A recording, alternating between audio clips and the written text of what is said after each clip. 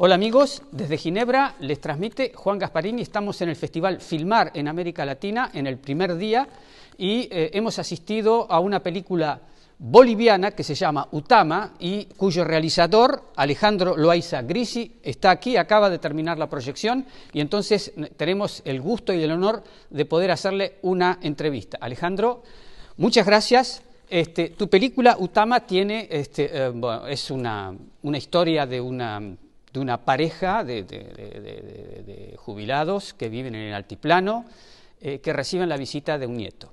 Eh, esta es la trama más, general, pero después, bueno, es una película según el título o la traducción que se puede atribuir al título, sería como Tierra Olvidada o El Hogar.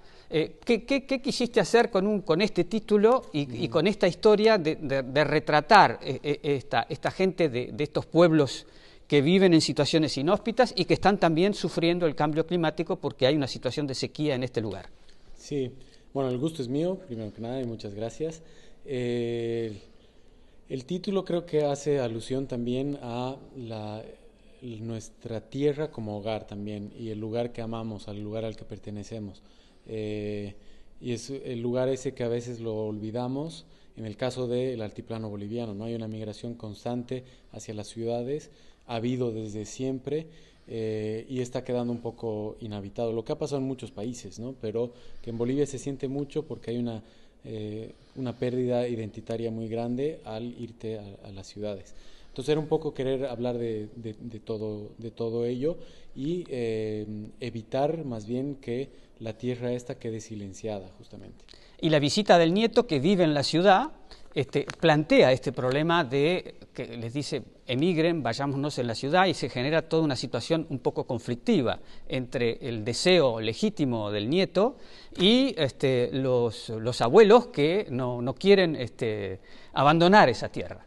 Sí, ahí lo que era, eh, lo que quiero con la película es también explorar esta relación intergeneracional y explorar la relación campo-ciudad. En Bolivia está muy marcada eh, justamente por esto también que te digo que el campo boliviano ha estado poblado eh, generalmente e históricamente por indígenas, de distintas etnias, de distintas raíces, pero siempre indígenas. y han migrado mucho a la ciudad y han, han, comenzado a... En las ciudades se, se vive un sincretismo muy grande, un encuentro de culturas muy lindo, eh, pero siempre queda esto. Entonces era explorar eso, eh, también hablando del, tema climático, poner en evidencia cómo en la ciudad eh, la gente conoce muy poco de los efectos inmediatos que ya sufren compatriotas dentro del mismo país, ¿no? y, que, y que en el campo se siente mucho más. En las ciudades sentimos más calor, más frío, no llueve, no importa, pero tenemos todas las comodidades siempre. Pero en el campo, dos grados de diferencia pueden hacerte una diferencia inmensa.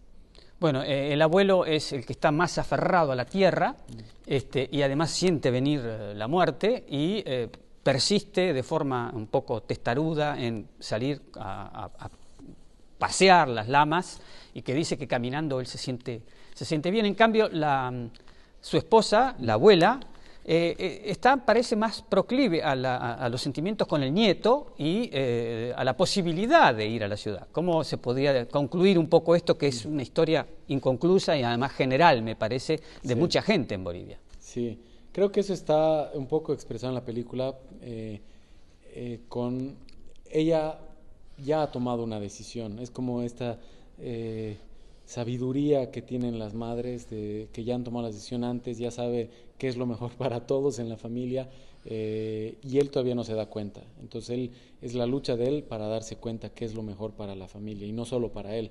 En e, él, en este momento está siendo muy egoísta, está pensando solo en él, solo en lo que él quiere, eh, pero creo que cuando va eh, acercándose al final de la película, él entiende todo esto.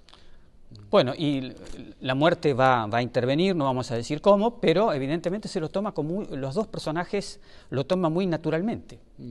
Tanto el que le tocará quizá morir primero y, el otro que tiene que asistir a la, situación. Sí, creo que eso tiene que ver con, la historia que durante la investigación escuché que me contaron eh, acerca del cóndor, de cómo muere el cóndor. Que el cóndor cuando siente que está muy débil, cuando siente que ya no sirve para nada, eh, se va al borde de una montaña y encoge las patas, eh, repliega las alas y se deja caer y choca contra la roca y muere.